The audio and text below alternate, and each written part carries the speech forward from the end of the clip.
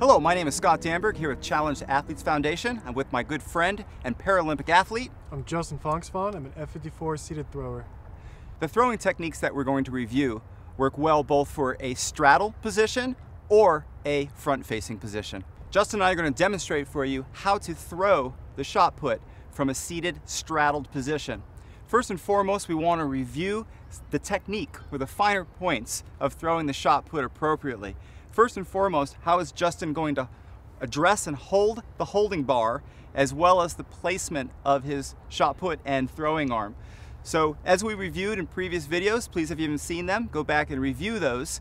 Justin's blocking arm would be at the same plane or angle as the release of the shot. Justin is grabbing the holding bar and holding into that position. From there, he puts the shot put, which we will demonstrate for you, and holds it next to his neck. It's really important there as we're seeing that there is a 90 degree angle between his throwing arm and his torso. Now there's three different positions or techniques that Justin could throw from. One would be just a rotational. Justin would rotate back, come through, proud chest, release forward. The second would be, load up again Justin, would be what we call a linear position. He would just come back without any twist and explode forward and release. The third, which works well for Justin, is combining those two movements. Justin will rock back and rotate and explode forward and release. Now, regardless of what technique you use, and I invite and have you explore all of these with your athletes, is that Justin is leading the movement with his chest. Justin, show the movement again for us. Go in slow motion. He comes back, he twists. The first movement is the chest. Chin is high, chest is towards the sector, and now he is releasing. Notice how his thumb is down, his pinky is high. When he gets to the end of his extension, he flips that wrist, almost as if you're flipping a lampshade.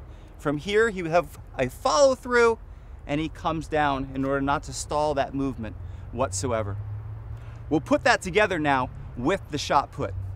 What's important with the shot put, and I'll follow along with Justin in this movement, that's very important that it rests, if you will, between the base of the fingers and the palm of the hand.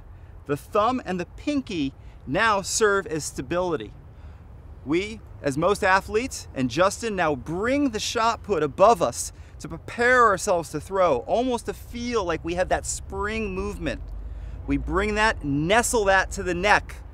Thumb is down, pinky is up, all important, our 90 degree angle.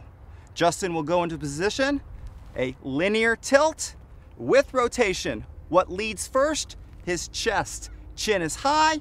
Obviously, he will hold on to the shot put and not throw it into your home living rooms and release. Let's throw a few. Sounds good.